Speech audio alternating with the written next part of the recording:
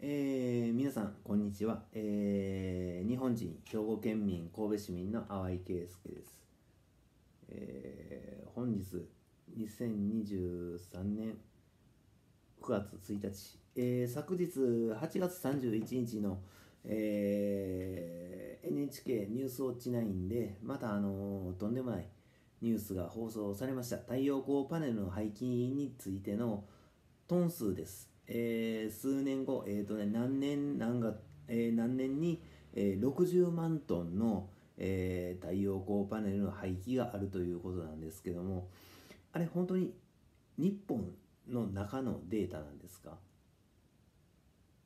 違うでしょもし日本の中だとしたら下の土台の金属の部分それを重さに換算してえー、放送してます。これ以前もね、もう何年も前から、もうもしかしたら何十年も前からそういう話だったと思います。本当に。いいですか？見てください。あのー、こういう太陽光パネルもあります。ね。これバッテリーで重たいだけ。こっち、ペラペラ。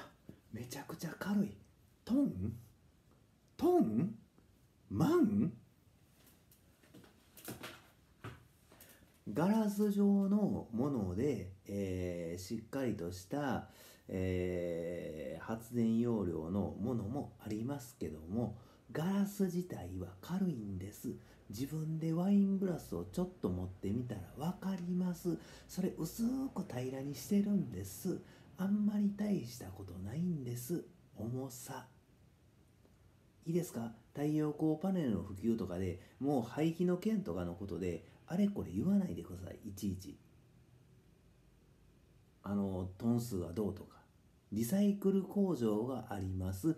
そのリサイクル工場の現在の数でしっかりとリサイクルができるかどうかを述べてればいいんです。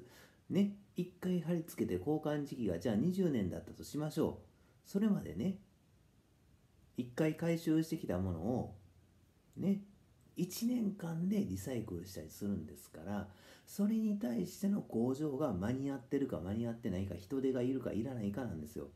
今働いてるところの従業員の数を増やしてスピードアップという方法もあります。そんなに工場をたくさんあまり作らなくてもいいんです。屋根の上がガラ空きだから分かってるんです。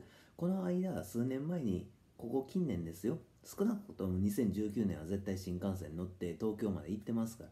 屋根の上片っ端からずっと見てますから。あと JR で JR 乗って大阪行ったりする時とかあのー、まあ三田の方から大阪に行くケースと神戸駅の方からあの大阪行くケース屋根の上とか見てるからガラ空き。どこもかしこも。もうあんもうあんまりとんでもない嘘言ってたら君たちも本当に基本給上げれなくなりますよ。NHK のニュースウォッチの方。